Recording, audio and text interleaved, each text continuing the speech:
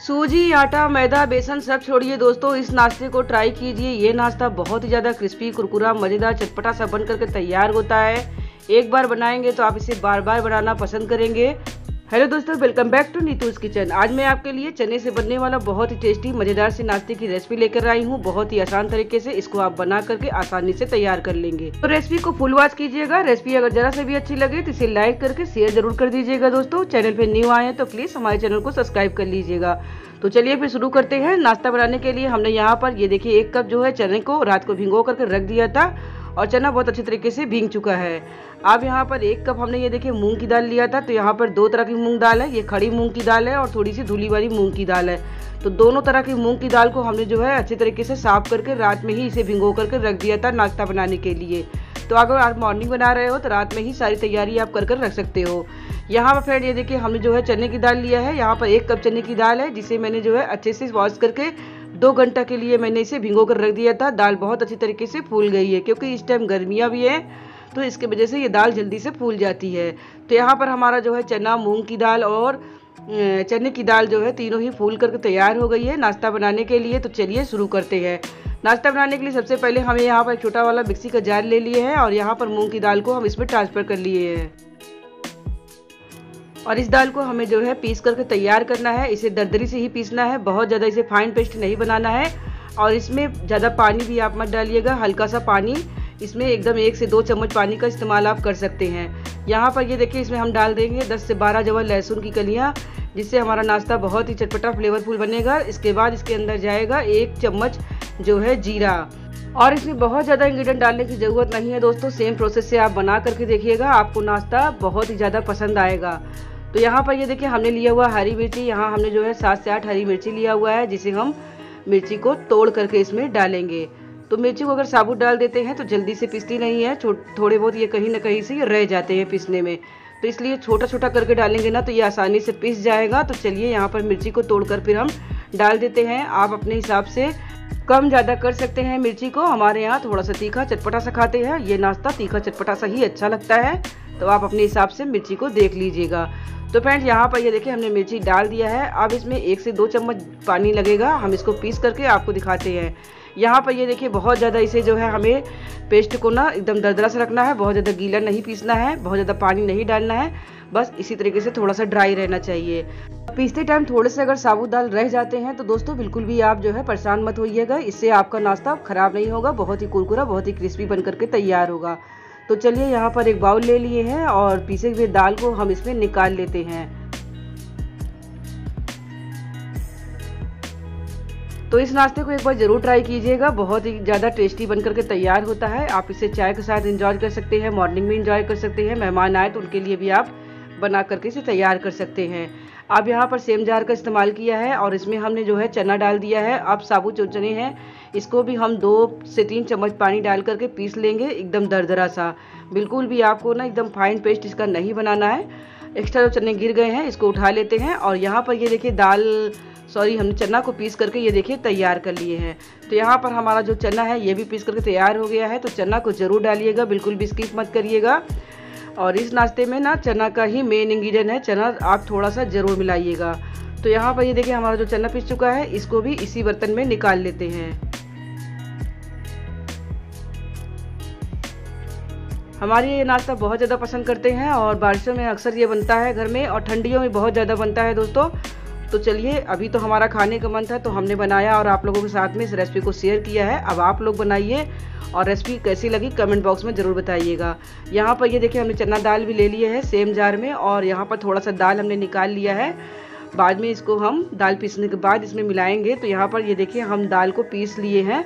तो हमारा जो है तीनों तरीके का जो दाल है, मूंग की दाल और चने की दाल, चना तो हमने जो है तीनों ही दाल को पीस लिया है और जो मिक्सी जार में थोड़ा बहुत रह गया था दाल, उसमें थोड़ा सा पानी डाल करके उसे भी हमने जो है अच्छे से निकाल लिया है। तो यहाँ पर ये देखिए, हमने डाल दिया है इसमें।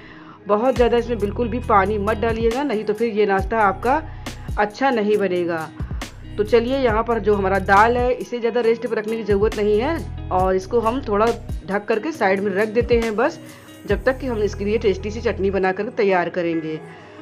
तो इतना ही देर आपको रखना है। तो फ्रेंड्स यहाँ पर देखिए एक टेस्टी सी चटनी भी रेसिपी आपको दे रहे हैं। इस तरीके से चटनी आपने कभी नहीं बनाया होगा। तो इस चटनी को भी आप ज़रूर ट्राई कीजिएगा। तो यहाँ पर आज की चटनी जो हम बना रहे हैं, ये अमचूर पाउडर से बना रहे हैं। इंस्टेंट ये बन जाता है, बहुत ही ज़्यादा खाने में टेस्टी लगता है। तो यहाँ पर ये देखिए, हमने दो से ढाई चम्मच अमचूर ले लिया है। इसके बाद इसके अंदर ऐड करेंगे दो से तीन हरी मिर्ची और इसके साथ दो ही कलियाँ इसमें लहसुन की डाल देंगे। आप चाहे तो अदरक डाल सकते हैं। यहाँ पर ये देखिए, हमने थोड़ा सा डाल दिया है एक चम्मच सरसों का तेल। इसके बाद इसके अंदर जाएगा जो है स्वाद के अनुसार नमक। और नमक डालने के बाद इसमें हम डालेंगे थोड़ा सा कूटी हुई लाल मिर्ची। तो चटपटी सी, तीखी सी चटनी बन करके तैयार होता है और बिना मेहनत का आप इसको बना करके तैयार कर सकते हैं। थोड़ा सा पानी डाल देंगे, इसके बाद एक चम्मच इसमें शक्कर डाल देंगे। तो एक चम्मच शक्कर स्किप मत करिएगा, ज़रूर से डालिएगा, फिर चटनी का स्वाद आप बताइएगा कि आपको चटनी कैसी लगी। तो एक बार ट्राई ज़रूर करिएगा। तो देखिए, यहाँ पर हमारा जो है खट्टी मीठी तीखी चटपटी सी चटनी बन करके तैयार हो गया है दोस्तों। बिल्कुल भी इसको आपको तड़का वड़का लगाने की ज़रूरत नहीं है। ये अपने आप में ही इतना ज़्यादा स्वाद देता है कि हम आपको क्या बताएँ। तो एक बार जब आप खाएँगे, तब तो आपको स्वाद का पता चलेगा। तो आप ज़रूर बनाइए, खाइए और आपको रेसिपी कैसी लगी, हमारे कमेंट बॉक्स में ज़रूर आ करके हमें बताइएगा, फ्रेंड्स। और रेसिपी अच्छी लग रही हो तो हमारे चैनल को सब्सक्राइब भी कर लीजिएगा, हमारी रेसिपी को शेयर भी कर दीजिएगा। देखिए फ्रेंड यहाँ पर हमारा जो दाल था ना, वो हमने ले लिया है। अब इसके अंदर थोड़े से इंग्रेडिएंट और डालेंगे। यहाँ पर हमने जो है दो से तीन बड़ी प्याज को, ये देखिए इस तरीके से बहुत ज़्यादा बारीक भी नहीं, बहुत ज़्यादा मोटा भी नहीं, इस तरीके से ये देखिए काट करके हमने डाल दिया है। और जब इस रेसिपी को बनाए ना तो प्याज इसमें थोड़ा सा ज़्यादा ही डालिएगा। यहाँ पर ये देखिए हमने जो है दो से तीन हरी मिर्ची बारीक फिर से काट करके डाल दिया है। तो मिर्ची थोड़ी सी ज़्यादा ही डाली दोस्तों, क्योंकि हमारे यहाँ बहुत चटपटा खाते हैं, इसलिए आप अपने हिसाब से डालिएगा।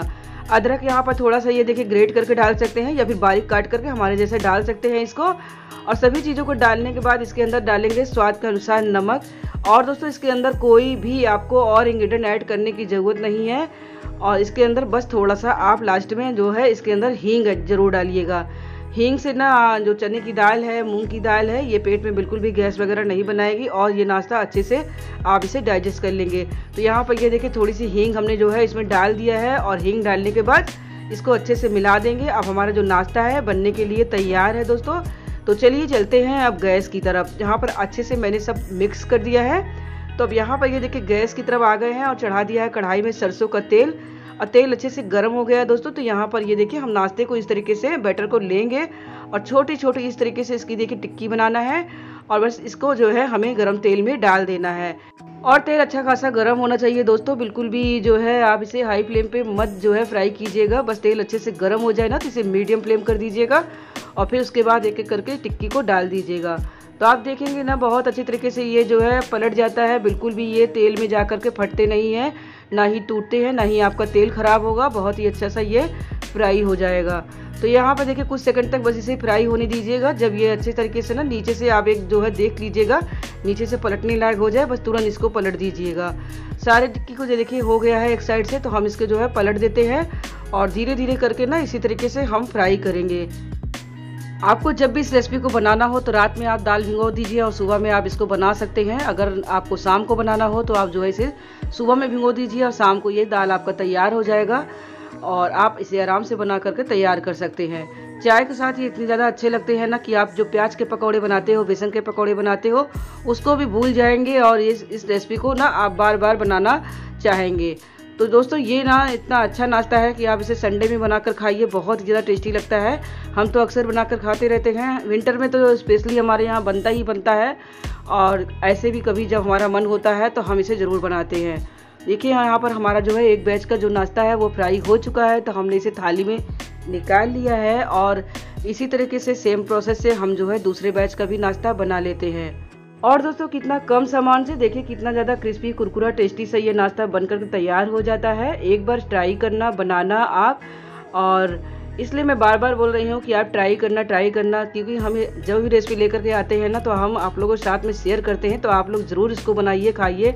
आपको इसका स्वाद कैसा लगा रेसिपी कैसी लगी, हमें कमेंट बॉक्स में ज़रूर बताइए। हमारी रेसिपी आप कहाँ कहाँ से देखते हैं, इसको भी आप ज़रूर ज़िक्र किया करिए। और बहुत खुशी मिलती है जब आप लोग लिखते हैं कि हम यहाँ से देख रहे हैं, यहाँ से देख रहे हैं तो हमें बहुत अच्छा लगता है कि हमारी रेसिपी कितनी दूर दूर तक जा रही है। तो दोस्तों, ज़रूर इस रेसिपी को ट्राई करना और रेसिपी अच्छी लगी फ्रेंड तो एक छोटा सा लाइक भी अपना ज़रूर दीजिएगा। तो यहाँ पर ये देखिए, हमारा जो है सेकंड बैच का भी नाश्ता बन करके तैयार हो गया है।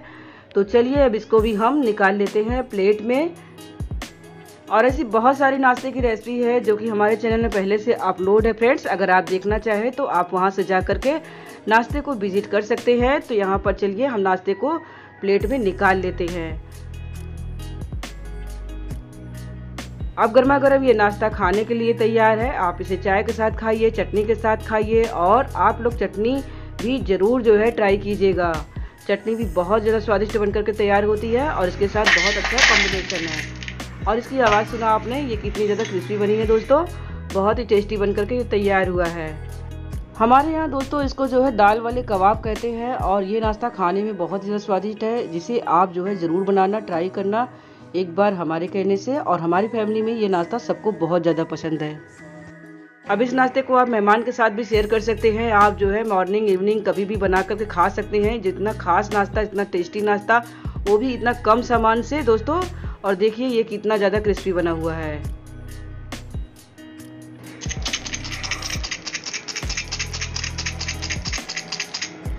तो चलिए दोस्तों, छोटा सा लाइक भी कर दीजिएगा और चैनल पर न्यू आया है तो बेल आइकन को ज़रूर प्रेस कर लीजिएगा ताकि आने वाली हर रेसिपी की नोटिफिकेशन आपको समय पे मिलता रहे। और रेसिपी को ज़रूर से ज़रूर ट्राई कीजिए और अपनी फ्रेंड्स एंड फैमिली के साथ में इसको शेयर कीजिए। और एक छोटा सा लाइक भी कर दीजिएगा। मिलते हैं फिर एक नई रेसिपी में। तब तक के लिए थैंक्स फॉर वॉचिंग दोस्तों।